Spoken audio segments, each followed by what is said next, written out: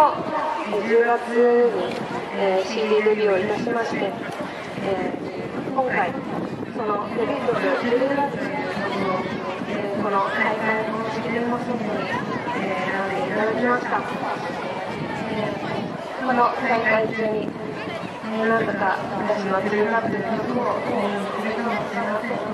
えー、ぜひ皆さんに、えー、聴いていただけて、えー、元気がていただけたらなと、えー、最後まで頑張っていただけたらなと思います、えー、それではこの YouTube プレイラードを聴いてください